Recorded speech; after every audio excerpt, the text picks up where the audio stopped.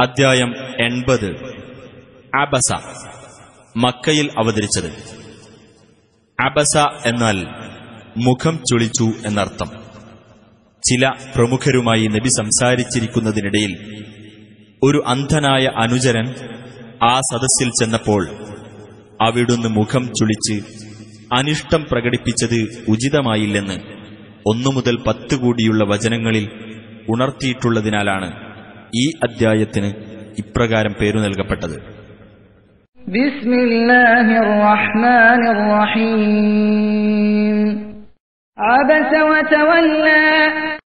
നബി മുഖം ചൊളിച്ചു തിരിഞ്ഞുകളഞ്ഞു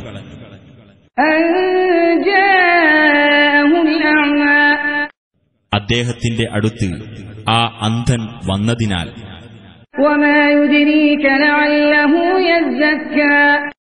നബിയെ നിനക്കെന്തറിയാം? ആ അന്ധൻ ഒരു വേള പരിശുദ്ധി പ്രാപിച്ചേക്കാമല്ലോ.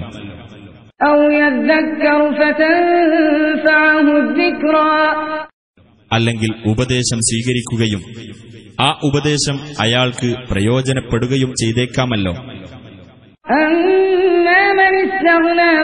എന്നാൽ സ്വയം പര്യാപ്തത നടിച്ചവനാകട്ടെ. നീ അവന്റെ നേരെ ശ്രദ്ധ തിരിക്കുന്നു. അവൻ പരിശുദ്ധി പ്രാപിക്കാതിരിക്കുന്നതിനാൽ നിനക്കെന്താണ് കുറ്റം?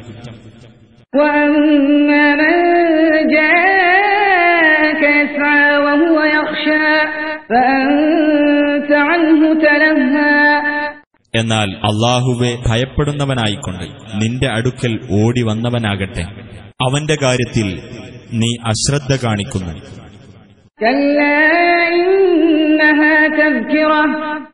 നിസ്സംശയം. ഈ ഖുർആൻ ഒരു ഉത്ബോധനമാകുന്നു തീർച്ച.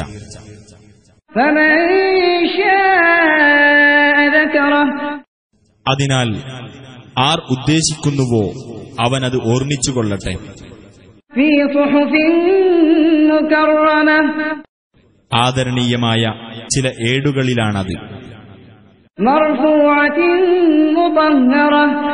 ഔന്നത്യം നൽകപ്പെട്ടതും പരിശുദ്ധമാക്കപ്പെട്ടതുമായ ഏടുകളിൽ. ചില സന്ദേശവാഹകരുടെ കൈകളിലാണത്.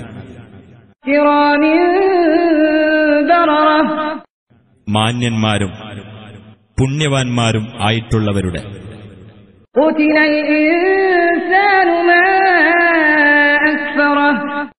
മനുഷ്യൻ നാശമടയട്ടെ. എന്താണവൻ ഇത്ര നന്ദി കെട്ടവനാകാൻ? ഏതൊരു വസ്തുവിൽ നിന്നാണ് അള്ളാഹു അവനെ സൃഷ്ടിച്ചത്?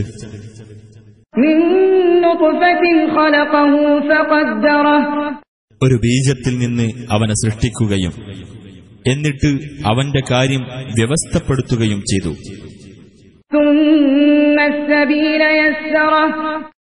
പിന്നീട് അവൻ മാർഗം എളുപ്പമാക്കുകയും ചെയ്തു.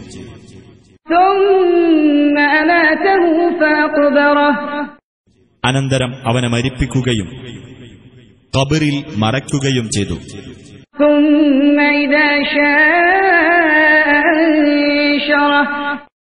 പിന്നീട് അവൻ ഉദ്ദേശിക്കുമ്പോൾ അവനെ ഉയർത്തെഴുന്നേൽപ്പിക്കുന്നതാണ്. കല്ലാലം നിസ്സംശയം അവനോട് അള്ളാഹു കൽപ്പിച്ചത് അവൻ നിർവഹിച്ചില്ല فلينظر الإنسان إلى طعامه എന്നാൽ മനുഷ്യൻ തന്റെ ഭക്ഷണത്തെപ്പറ്റി ഒന്ന് ചിന്തിച്ചു നോക്കട്ടെ أنا صببنا الماء صبا നാം ശക്തിയായി മഴവെള്ളം ചൊരിഞ്ഞുകൊടുത്തു ثم شققنا الأرض شقا പിന്നീടു നാം ഭൂമിയെ ഒരു തരത്തിൽ പിളർത്തി فأنبتنا فيها حبا وعنبا وقضبا എന്നിട്ട് അതിൽ നാം ധാന്യം മുളപ്പിച്ചു മുന്തിരിയും പച്ചക്കറികളും وزيتونا ونخلا ഒലീവും ഈന്തപ്പനയും وحدائق غلبا ഇടതൂർന്നു നിൽക്കുന്ന തോട്ടങ്ങളും പഴവർഗവും പുല്ലും നിങ്ങൾക്കും നിങ്ങളുടെ കന്നുകാലികൾക്കും ഉപയോഗത്തിനായിട്ട്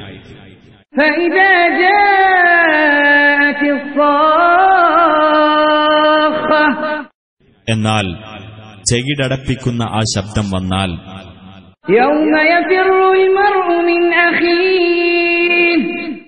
അതായത് മനുഷ്യൻ തന്റെ സഹോദരനെ വിട്ട് ഓടിപ്പോകുന്ന ദിവസം وأمه وأبيه തന്റെ മാതാവിനെയും പിതാവിനെയും وصاحبته وبنيه തന്റെ ഭാര്യയെയും മക്കളെയും لكل امرئ منهم يومئذ شأن يغنيه അവരിൽപ്പെട്ട ഓരോ മനുഷ്യനും തനിക്ക് മതിയാവുന്നത്ര ചിന്താവിഷയം അന്നുണ്ടായിരിക്കും.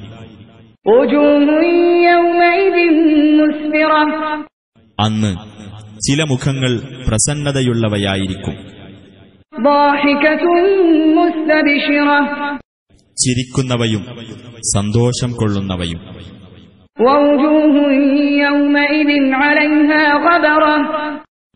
വേറെ ചില മുഖങ്ങളാകട്ടെ.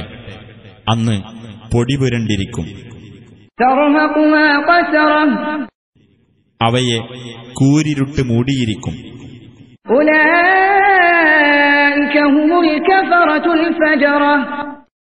അക്കൂട്ടരാകുന്നു അവിശ്വാസികളും അധർമ്മകാരികളുമായിട്ടുള്ളവർ.